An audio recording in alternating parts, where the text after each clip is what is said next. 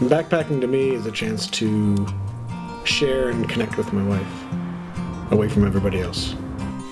Yeah, we don't have to share each other with anybody. Everything that I have, she has. Everything that she has, I have.